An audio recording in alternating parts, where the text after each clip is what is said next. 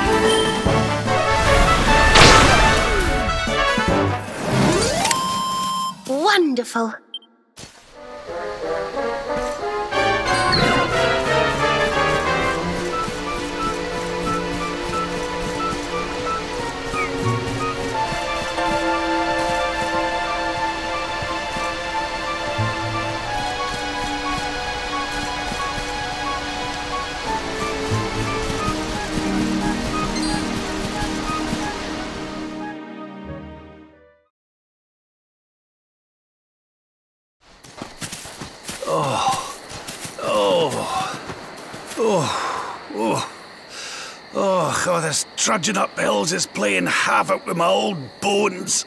Oh, oh. oh, well, don't tire yourself out, darling. We all want to be bright eyed and bushy tailed for our big day. Come on, let's call it a night, huh? Oh.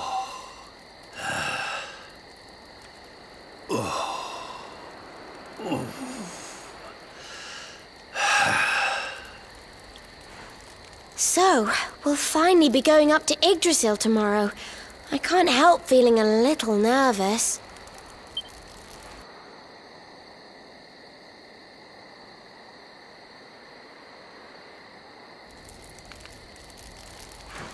Serena, why don't you play that song? You know, the one you always used to play when we were children.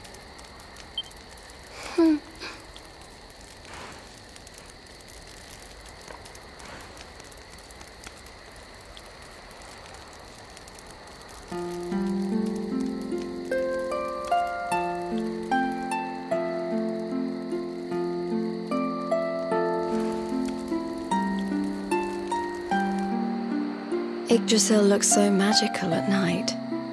It's strange to think that each of our lives is a leaf on one of those branches. Hmm. Yeah. And it's really like the old man said. There's some kind of heart in there that all life comes from. Yes, when someone dies, their leaf withers and falls, and their soul returns to the heart. When someone is born, a new bud blooms on one of the branches. Hmm. I suppose it won't be long now until we finally face Mordegon. Do you think if we can beat him, my father will go back to how he once was? Oh. You play an instrument too, Veronica?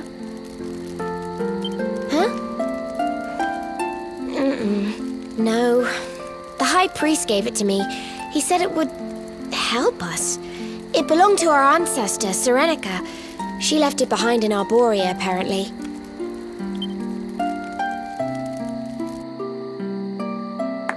Well, I don't know about the rest of you, but I'm pooped. What do you say we all get some beauty sleep?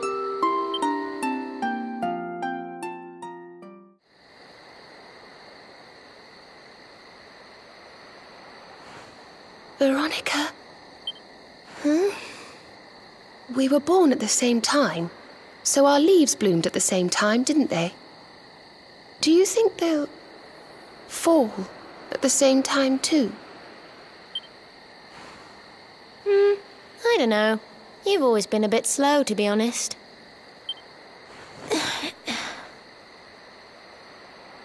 But I hope they do.